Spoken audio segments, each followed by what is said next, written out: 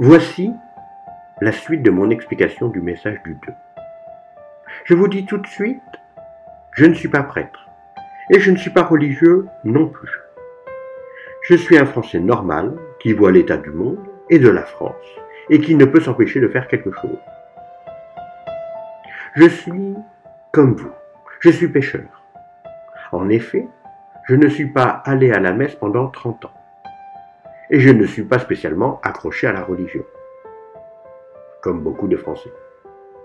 Mais Marie m'a appelé et vu l'état de la France, je suis obligé d'agir. C'est vrai aussi que Marie m'a donné de grandes grâces.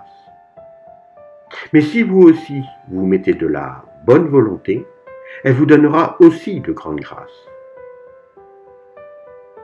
Vous avez tous des problèmes et Marie nous dit l'esprit est la réponse à tous vos problèmes. Que l'esprit peut surmonter tous ces problèmes grâce à l'amour et aux actions pour Dieu que vous allez faire. Elle nous indique aussi que si on ne fait qu'un avec Jésus, l'amour de Jésus sera avec nous ou en nous.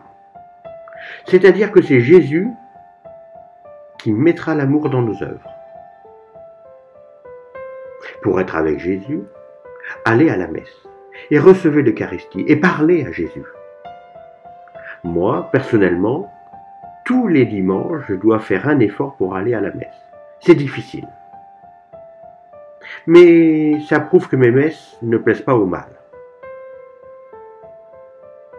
Pour être avec Jésus, faites ce que Jésus dit. Tout est marqué dans la Bible. Et surtout, parlez-lui dès que vous avez 30 secondes. Les larmes. Juillet 2017, la statue de la Vierge de Rosa Mystica pleure des larmes d'eau et d'huile à Caracas, au Venezuela. Une journée pleine de violence, de mort et d'images d'affrontement. Une dame humble et ses proches commencent à prier la Sainte Vierge pour la paix au Venezuela. C'est à ce moment que la statuette se met à verser ses premières larmes d'huile. La Vierge se manifeste physiquement pour nous inciter à prier.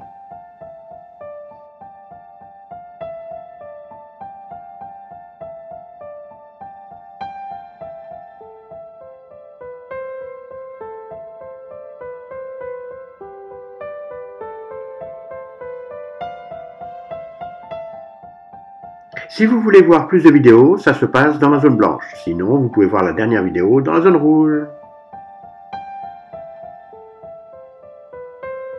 Génial, vous avez trouvé cette vidéo géniale. Alors si cela vous a plu, vous pouvez vous abonner en suivant la flèche rouge.